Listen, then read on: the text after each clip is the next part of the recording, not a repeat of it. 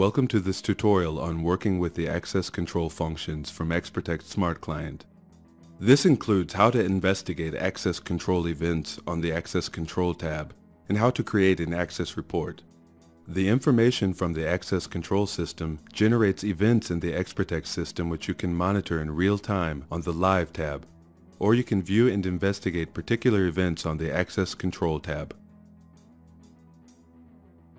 On the Live tab, you can set up your views to suit your needs for monitoring. You can use the standard live monitoring functions in the view. If you want to review an event, click the event in the list. The live video automatically pauses and changes to independent playback of the event. This allows you to do a fast investigation, including playback of the video while the rest of the view remains in live mode. You can click the search icon next to the cardholder name on an event to jump to the Access Control tab and view all events associated with this person. You can continue your investigation on the Access Control tab.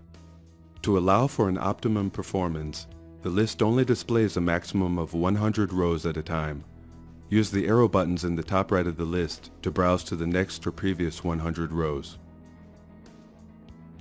You can change how the list displays data by sorting columns or dragging them to different positions.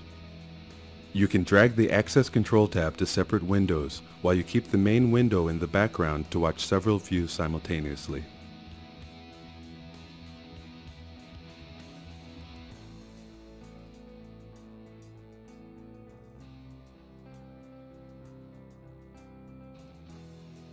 You can filter, sort, and review data related to events or doors.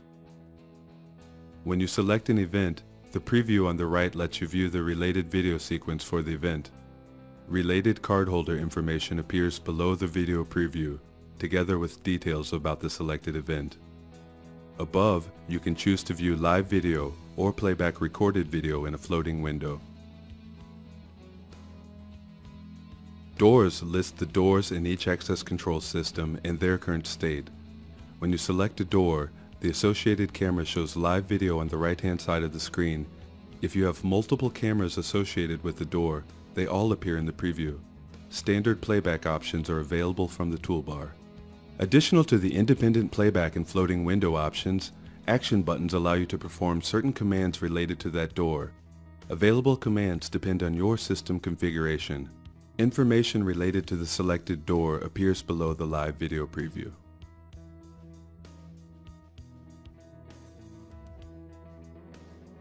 Click any of the filters at the top of the list to see only data associated with that filter. Any filters you apply are immediately reflected in the list. In the events list, select one of the available time periods to see data for that particular period or use the custom interval to specify a particular time period. If you select Live Update, the list of events is updated instantly when new events occur that meet the filter criterion.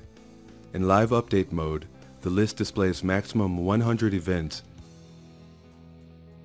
In this scenario, we prefer Today. You can combine filters, for example, for a particular cardholder at a certain entrance. You can right-click any value in a column and you immediately filter data by that value. Continue until you have the required result. Be sure to remove all filters before you proceed with your work. You can use the search field to, for example, search for a particular cardholder in the events list or to search for a unit name in the doors list.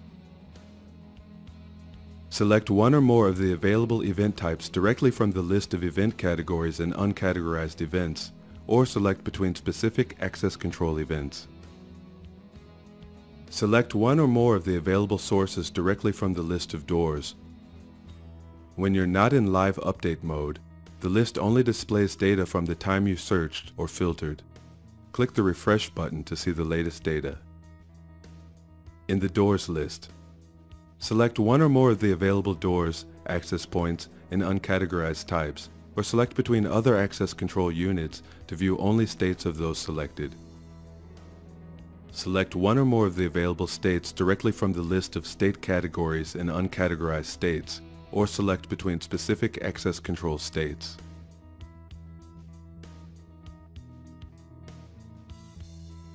In the following scenario, we want to filter on events. When you're not in live update mode, you can export a report of the events list to a PDF file. First, you must apply the necessary filters.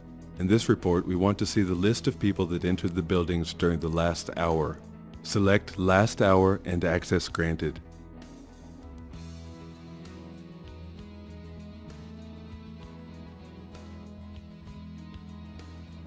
Click the Access Report button and fill out the fields in the dialog box.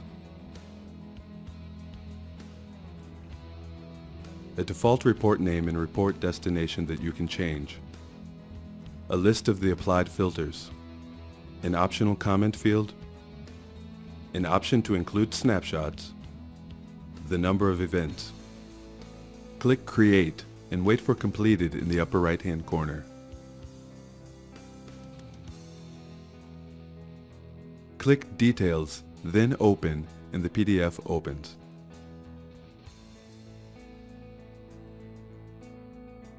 You're now ready to send the report to your manager.